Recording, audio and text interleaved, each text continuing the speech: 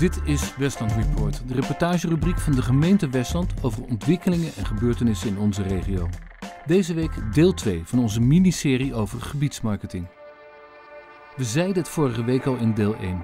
Gebiedsmarketing is een belangrijk instrument om je eigen regio onder de aandacht te brengen. Zeker nu, in tijden van crisis. Het is een moeilijke tijd voor de Nederlandse tuinbouwsector. Maar wat kan er gedaan worden om Westland, Westlandse bedrijven en Westlandse producten beter onder de aandacht te brengen? Deze week bekijken we de materie door de ogen van twee professionals die juist niet in de tuinbouw werkzaam zijn.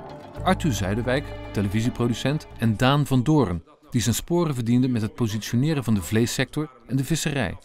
Beide komen met een serie aanbevelingen die op zijn zachtst gezegd tot nadenken stemmen. Beide heren waren te gast op het Westland-event op 10 oktober. Daar werd om te beginnen de Inspiration Award uitgereikt. Winnaar was... De grote winnaar is Greenwell. Applaus! Van harte! Uh, dit is gewoon een verrassing. Altijd wel leuk en meegenomen.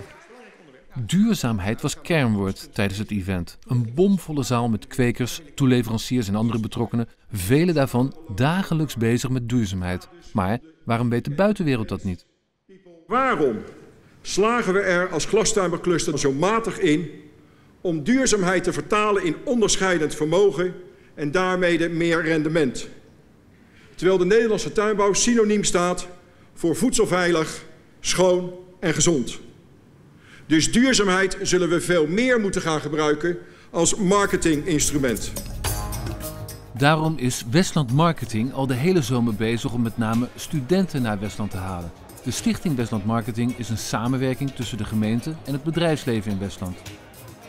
Westland moet een inhaalslag maken als het gaat om externe contacten. Al dus de verantwoordelijk wethouder Arne Weveling. Het is belangrijk dat Westland bekend staat als eh, innovatief en duurzaam glastuinbouwcluster.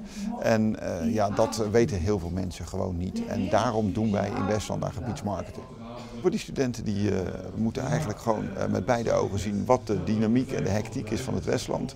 Wij laten zien hoe het cluster in elkaar zit. Dat het meer is dan alleen de teelt, maar dat er veredeling bij komt kijken, logistiek, marketing. Dat het heel het tuinbouwcluster is, zoals Silicon Valley eigenlijk in Amerika. Uh, en daarom halen we ze hierheen. Zien is geloven.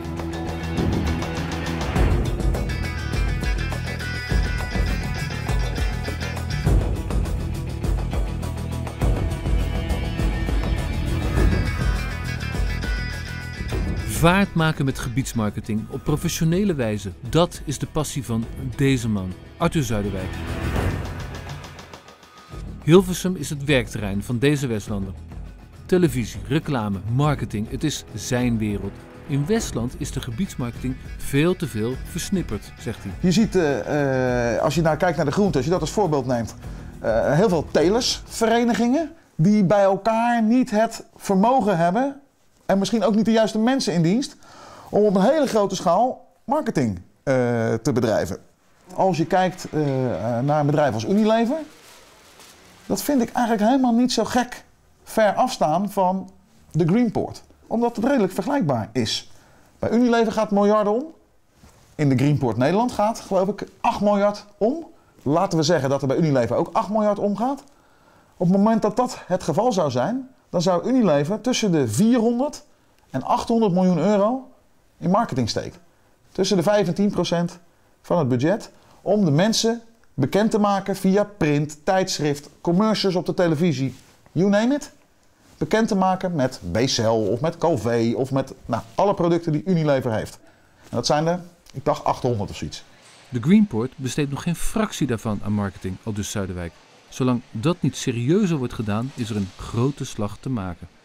En dat is het verschil, denk ik, waardoor je inwisselbaar blijft in het schap van de Albert Heijn, laten we dat als voorbeeld uh, nemen. En ik geloof dus in dat je A, een merk moet creëren en daaromheen het verhaal moet vertellen. Want dat is de enige reden waarom die consument daarvoor gaat kiezen en die keuze gaat maken en aan de Albert Heijn gaat vragen van meneer, heeft u niet de Nederlandse groente van het merk X wat er met elkaar gecreëerd is? Als je die vraag gaat ontwikkelen bij de Albert Heijn, dan, dan kan de Albert Heijn ook niet om je heen. Terug naar het Westland-event. Interessant te spreken was Daan van Doorn. Van Doorn was bemiddelaar om de vleesindustrie, die een heel slechte naam had, een betere PR te geven. Idem voor de visserij. Zijn ervaringen sluiten op sommige terreinen naadloos aan op de Westlandse situatie. Met name als het gaat om de presentatie van de sector naar het publiek. Dus de verantwoordelijkheid moet bij het bedrijfsleven zelf liggen. Dat is bij grotere bedrijven makkelijker te organiseren als bij kleinere bedrijven. Midden- en kleinbedrijf, wat het grootste gedeelte in de agrarische sector het geval is, is natuurlijk veel moeilijker om dat vanuit één visie te organiseren. Individuele bedrijven moeten zich aangesproken voelen, zegt Van Doorn, om een duidelijk traject van aanpassing in te gaan. En dat traject is heel concreet. Hoe gaan we die duurzaamheidsslag maken? Want er is maar één mogelijkheid om die sector uit zeg maar, zijn isolement te halen. Is dat je aantoont naar je omgeving dat je duurzaam bezig bent. Maar dan inhoudelijk. Ik vind dat het nodig is. Ze doen hier een heleboel goede dingen. Maar er zit nog onvoldoende regie op. Dus, je moet, dus die regie moet je toch wel wat centraler vastpakken.